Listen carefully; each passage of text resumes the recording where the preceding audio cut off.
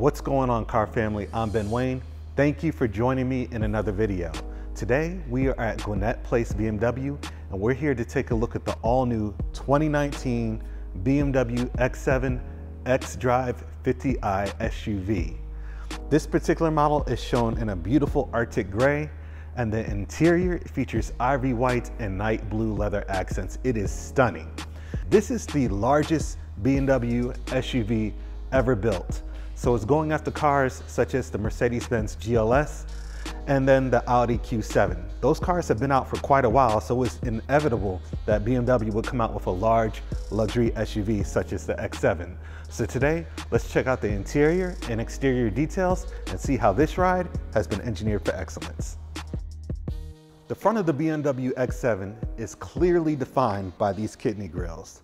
These are quite possibly the largest kidney grills I've ever seen on a BMW to date. Of course, they feature active shutters that open and close based on ventilation needs. But these grills are just huge. I don't know if they're for ventilation or you're just supposed to slap a steak on there. Look at the size of it when compared to my hand. That is humongous. Now coming over to the headlamps, of course you get full LED daytime running lamps, but the X7 is also available with BMW's latest laser headlamp technology, which is able to illuminate the road 600 meters ahead of you. Now, before we get into the details of the side profile design of the X7, there are a few things I want to point out regarding its platform. This is based on the same platform as the BMW X5, the cluster architecture platform, which is based on a composition of steel, aluminum, and carbon fiber. But this car is much larger than the BMW X5. As a matter of fact, it's nine inches larger and then the wheelbase is five inches longer.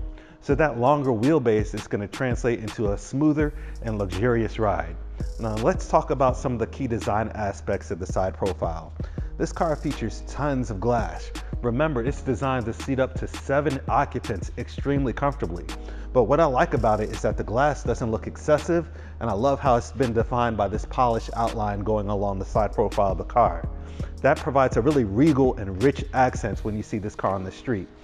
Now coming lower on the side profile, you have this polished chrome accent here that really just helps break up the color of the car.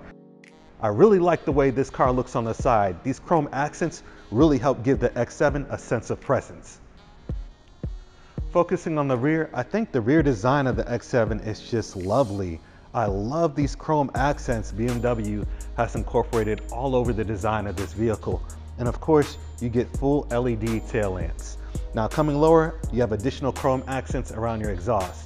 Now since this is an SUV, or what BMW refers to as an SAV, a sports activity vehicle, let's take a look at some of the storage capacity.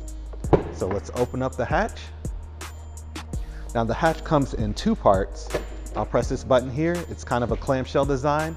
Where have we seen that before in recent videos? Let me know in the comment section. Now, with the seats up, you're getting about 48 cubic feet of storage. Now there is a button on the side panel here that allows you to fold the seats electronically, just one touch, and then the car will do the magic on its own.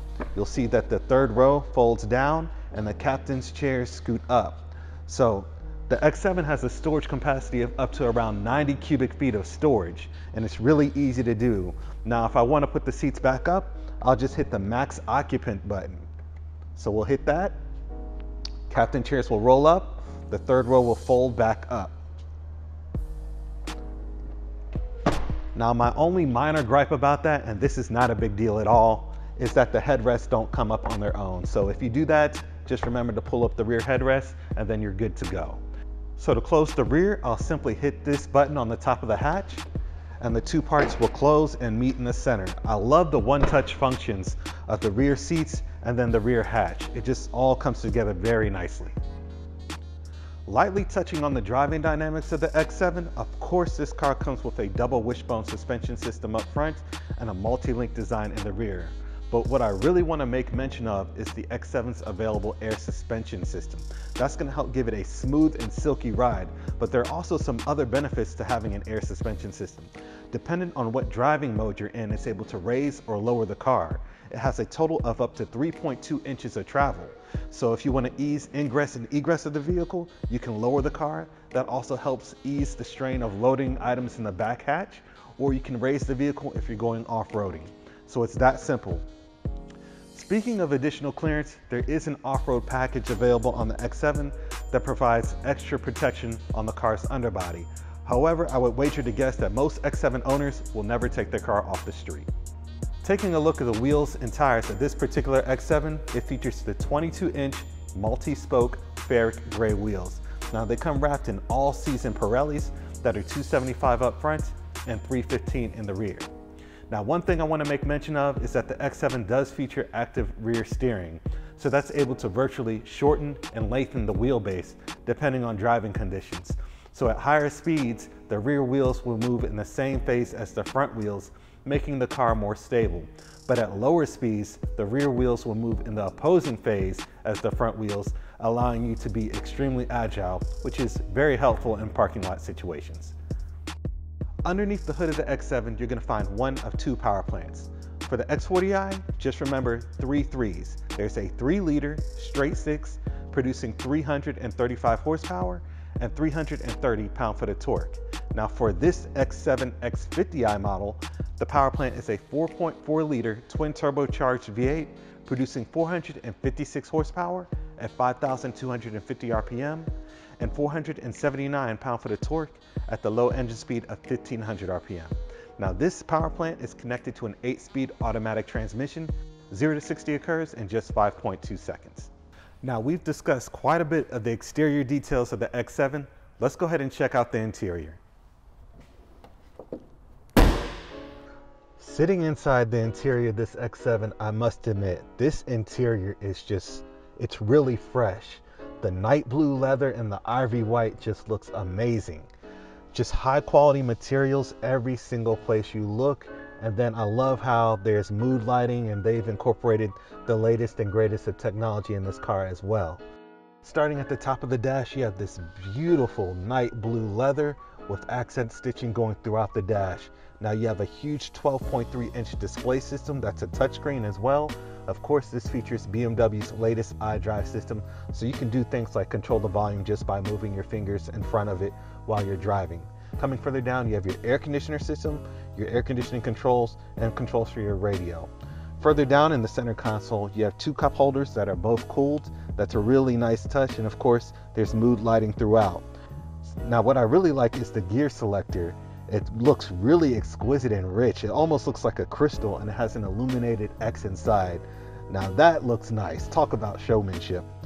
Further down in the center console, you have all sorts of buttons for your stability control, your cameras, your parking sensors, your eco mode if you want to drive in eco mode or not, your sport, comfort, eco pro, adaptive, and different modes for the car as well. You also have a selector for your iDrive system so you can use that in case you don't like touchscreens or the gesture control. What I like to see in a lot of these new cars now are multiple ways that you can access different menus in a car. So you either have the gesture control, the touchscreen, or you can use this knob here in the center console. I really love that about these new vehicles. Coming further back in the console, there's additional storage with a USB port as well. Now, one thing I will say is that the seats in the X7 are exceptionally comfortable. They are 20 way adjustable. I can't even imagine how to move these seats in 20 different ways, but they are just gorgeous. The leather is soft and supple. I really love the ivory white and night blue accents throughout the seats, and the stitching really just sets everything off. Now coming over towards the steering wheel is covered in smooth leather. You have controls for your infotainment system and being able to control your phone and radio at the same time without being too distracted while driving. Now behind the steering wheel, you do have a digital instrument cluster as well, and it's able to provide you all the information without being overbearing. It's fully customizable.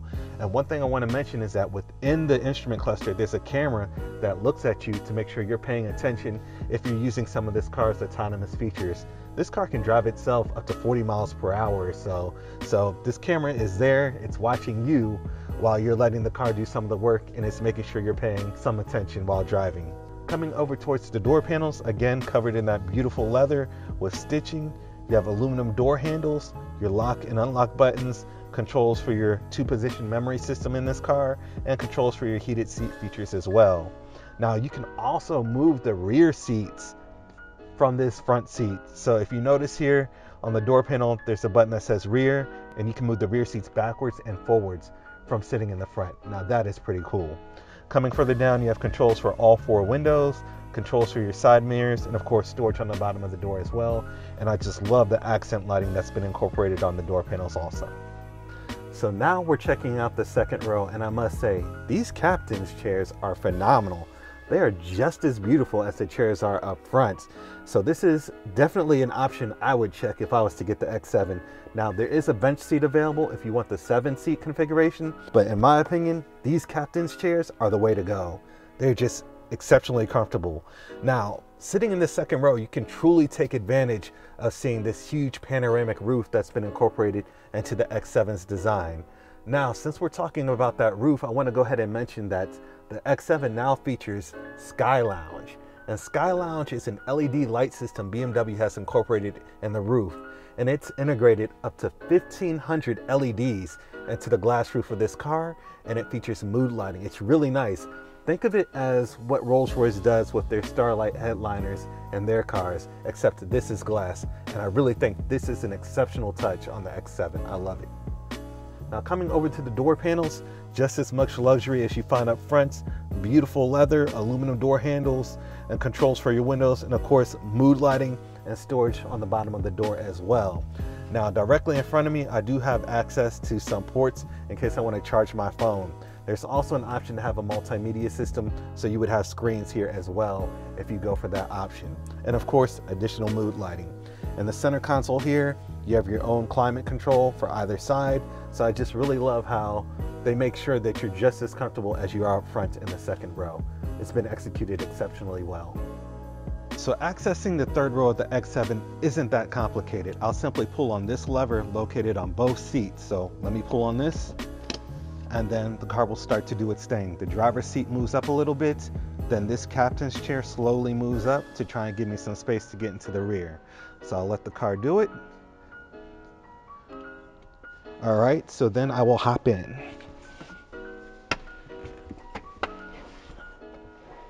There, so once I'm seated, I will pull back on the captain's chair so it can return to where it was. So I love how everything in this car is automated. It's really simple to get back here. So sitting in the third row, what are my impressions? Naturally, you're not gonna get as much space as you did in the second row of seats, but I think that's fair. But it's still comfortable. You could still sit here for quite a long period of time. The seats are soft and plush. Typically, if you sit in the third row of any other SUV in the market, it's like poverty standards but BMW still gave you some luxury. You get mood lighting, you have your cup holders, and then you have your own temperature controls here on the roof. The roof is also lined all the way throughout the car and nice soft Alcantara. I really love that about this vehicle. But overall, you can take a long drive in the third row of this car and still be somewhat comfortable. You also have a panoramic roof here as well. So that was a look at the all new 2019 BMW X7. What are your thoughts on this? Please let me know in the comment section. Yes, I know the grille is enormous, but there's something quite regal about the overall appearance of this SUV. I absolutely fell in love with this car's interior, and it's just taken luxury and technology in this segment to another level. I would like to thank you guys for watching. Special thanks to Gwinnett Place BMW for having me over. Please remember to like, share, and subscribe to our YouTube channel, and we will catch you in the next video.